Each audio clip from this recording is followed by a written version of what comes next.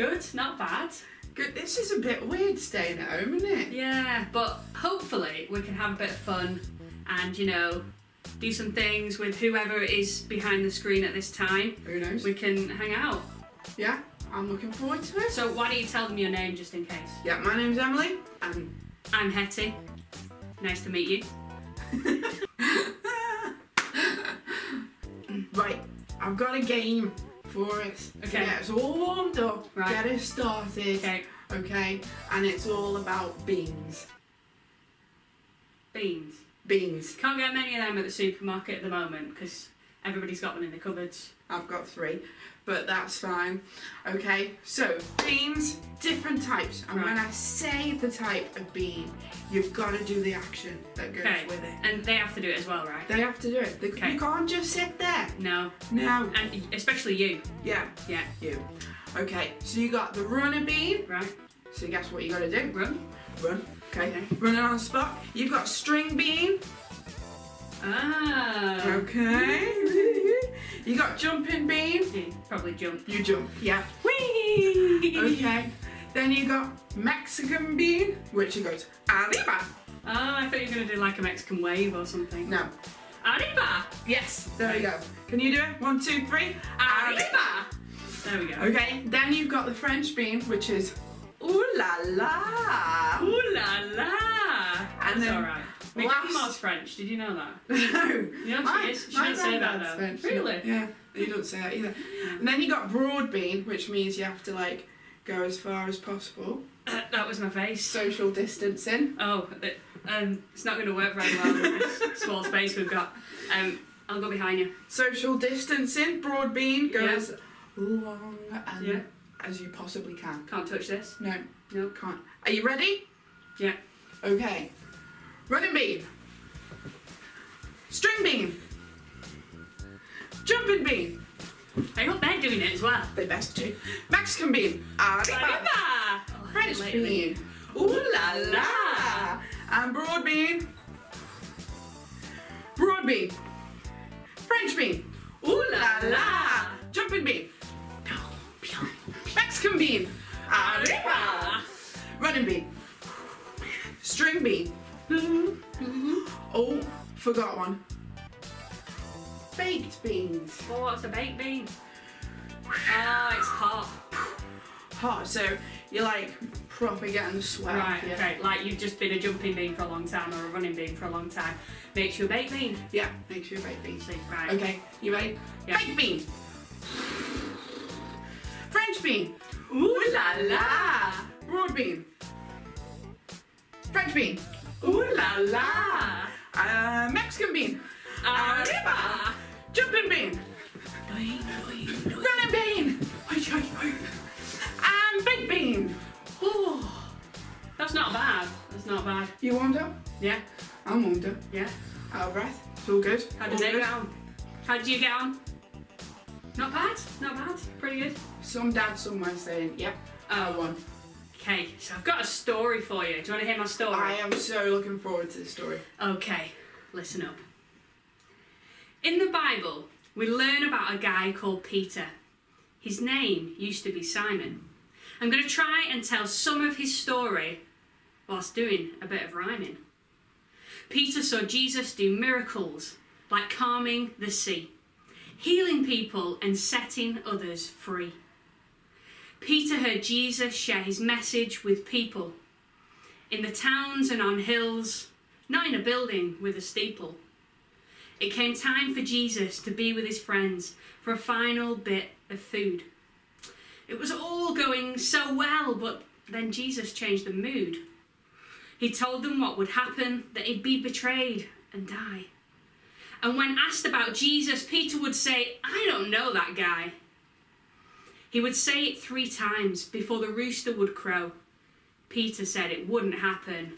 No, no, no. But later that night, Jesus was arrested and guards took him away. And what happened next was just as Jesus did say. Someone asked Peter, Wasn't Jesus your friend, like your bro? Peter said he didn't know him. No, no, no. After this, another said, You know Jesus. You sound like him, ha! But Peter said, I don't know him. Nah, nah, nah. Later, Peter was asked, Did you know Jesus who talked about hope? Peter said he didn't know him. Nope, nope, nope. Then the rooster crowed, Cock a doodle doo! Peter stopped and remembered what Jesus said he knew. Jesus died on the cross and was buried in a tomb. But he rose from the grave. It's not all sadness and gloom. Peter heard Jesus was not dead, but alive. He told the disciples with a hug and a high five. They were down at the beach fishing but caught nothing in their net when a man from shore shouted, Try the other side! Don't fret! So they tried the other side and caught loads and loads of fishes. They went back to shore where there was Jesus and their breakfast dishes. Jesus said to Peter, Do you love me? Please confess. Peter turned to Jesus and said, Yes, yes, yes. Jesus said, Do you love me? and gave him a stare. Peter said, I love you. Yeah, yeah, yeah. Again, Jesus said to Peter, Do you love me? Please cheer up. You know I love you, Jesus, said Peter. Yup, yup, yup. Jesus told Peter to feed his people, his sheep. Peter said that he would, and his promise he did keep. He started the church, and miracles happened when he prayed. Peter told all he met about Jesus, and in his heart, Jesus stayed. Hey, I'm really cool. And, and where's the story from again? From the Bible. Bible. Fabulous. So I've got a game for you. Oh, I love a game. Right, and you can play at home if you want to as well, wherever you are, right? You need some sort of bucket or like clean bin Clean. or um, basket, something like that. Five pairs of socks each. You got five. You look like I- you've got more. I've got Right. more than that. Right, you Yeah. need five. Okay, I'll put some So- down. Get the bucket down. Right. Get in. So what's going to happen is we're going to take it in turns throw the socks because you know I don't have loads of stuff here, loads of balls and things. I've got socks. Socks. Throw the socks into the bucket. Okay. We count how many times we miss. Okay. Okay. I can do that. Do you want to go first or second? Second. Okay. Missed. Missed. Okay, here we go. Yeah.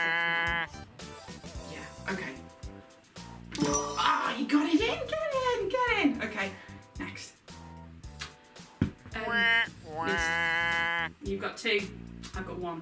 Okay. Ah. Get it. Okay. Okay. Not even sure where that went. That went out the back of the sofa. Sofa. Right, so you've got three and I've got one. Okay.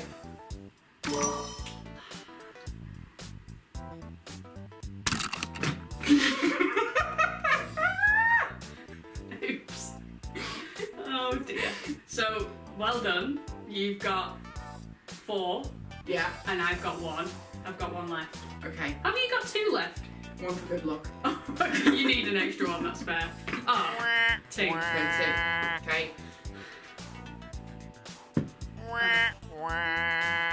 Can I use the one for good luck? Um, you can. It's currently 5-1, but um, you can make it 6 if you want. No, 2. I've got 2. 5-2. Okay, here we go. Last and final one. Again, down the back of the sofa. Yeah. Get so, um, 6-2. So I scored the least, so I, I presume I win the game. Oh, Yeah.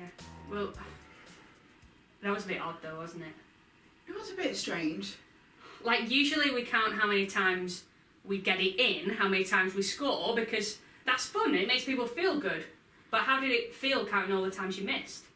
I mean, it, it, wasn't great. I'm not going to put lie. You know, you pointed out my faults. I, I did, didn't I? Yeah. Well, it's kind of similar to what we're talking about today, isn't it? We all sin. And sin is a bit of a funny word. But sin actually means going against what God asks us to do. And actually, it's really simple what he asks us to do. Now, in the Old Testament, we see the Ten Commandments. Some of them are great, okay? I, who would say that do not murder is a great thing? But some are a little bit more hard. Do not lie. Do actually some of us do that? Yes, we do. And then in the New Testament, when like some people come up to Jesus and said, "Which is the best commandment?"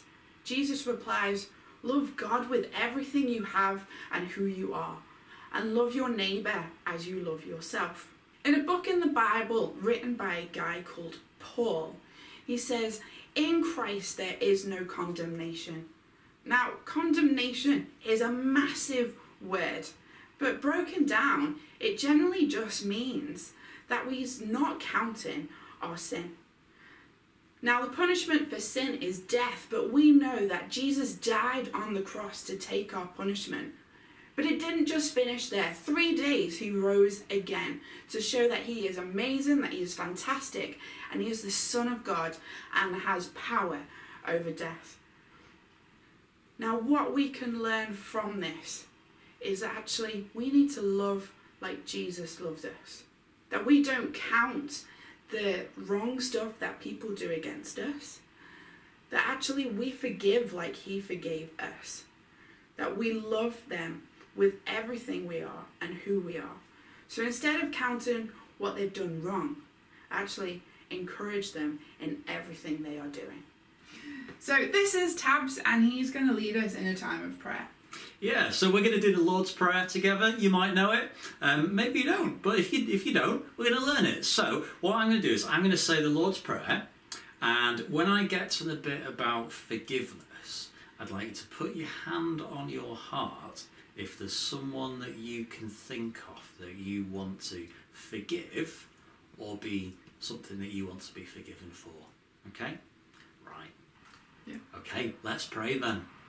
Our Father who art in heaven, hallowed be your name. Your kingdom come, your will be done, on earth as it is in heaven. Give us this day our daily bread, and forgive us our sins, as we forgive those who sin against us. And lead us not into temptation, but deliver us from evil. For yours is the kingdom, the power, and the glory forever and ever. Amen. Thanks for praying with me. I enjoyed that. So we're going to worship God together. Now, we don't have the ability to do a song right now, but we can worship God through other things as well. We don't just worship God through songs, although I really enjoy that. We can worship God through so many different ways. So, right now, we're going to worship God together. And in your family or in your school, wherever you are, whatever you're doing right now, you could get yourself into a circle or into a line, and this is what's going to happen. We're going to worship God by telling Him how awesome He is, Good, good. but we're going to use the letters of the alphabet. Okay, explain. So I'll start with A, and then you'll do B. If there was someone else, they'd do C and D and E, but there's only two of us. Yeah. So we just take it in turns. And we tell God how awesome He is by using the letters of the alphabet. So we're going to give you three minutes, but should we do a little practice? I think I think that might be Okay, good. so Yeah. I'll start. Awesome, Big, creative, dangerous. extremely brilliant. Can I have two words? Yeah, I'll let you. Okay. Fantastic. God. Yeah, that's Yeah, great. Yeah. Happy. Incredible. That works. Yeah. Brilliant. So you've got three minutes. Are you ready? You're going to worship God with the letters of the alphabet. Three, two, one, go. We've had so much fun with you guys. Thank you so much for tuning in. Um, I've had fun I've had fun as well. It's been great. I've learned so much about Jesus, which is awesome. So tune in again. We're going to be posting more videos to help you and your family or your school to get together and learn more, worship God, and have a great time. See you soon. See ya.